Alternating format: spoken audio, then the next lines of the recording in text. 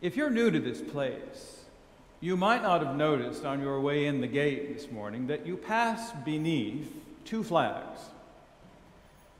They are the flag of the Episcopal Church and the flag of the Anglican Communion.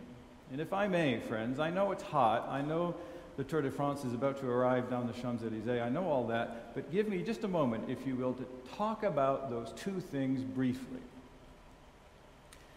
Two weeks ago, together with eight people from across Europe, lay people and ordained people, I was in Baltimore, Maryland for the General Convention of the Episcopal Church, this incredible every three year extravaganza, this democratic craziness by which we govern this Church of God.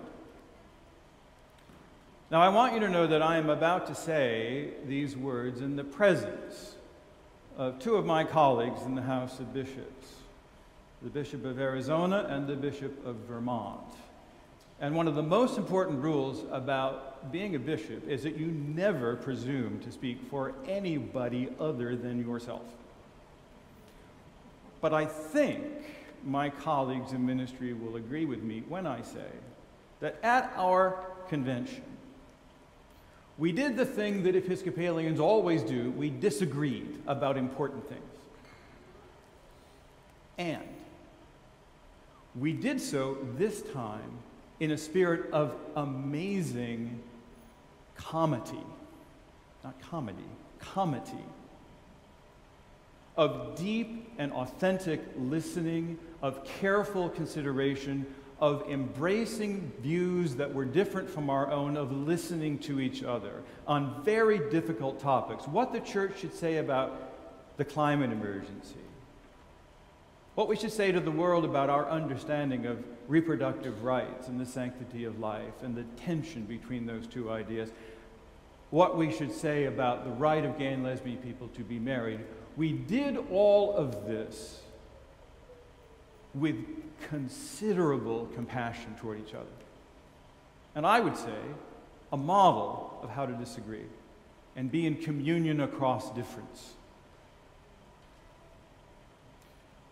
This Tuesday, I will be leaving and going to Lambeth for the Lambeth Conference. And so now I come to that other flag. The Lambeth Conference is the gathering of bishops from all 42 churches in the Anglican Communion that are in communion with the Archbishop of Canterbury. It is a group that is one of the so called instruments of communion in this interesting third largest global gathering of Christianity we have. And we had been told, as we prepared to come to this meeting, that because we know we disagree about important things in this communion, the purpose of this gathering was to be consultative and dialogical.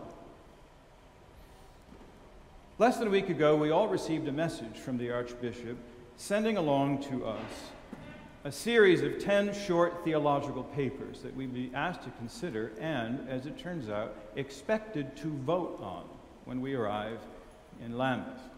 You may have seen these papers. If you have not, I will just tell you that some of what is in them is very good and worth your attention. And in a paper on the subject of human dignity, there are things in there we ought to pay attention to. An acknowledgement that this church has a history in colonialism, and a condemnation of practices of enslavement and human trafficking, a recognition that people live in great poverty in ways that injure their dignity.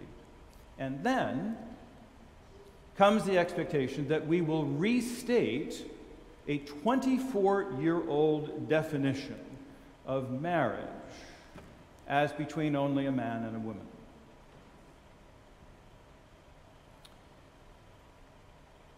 My dear friends, if you are, if you remember nothing else of what I say this morning,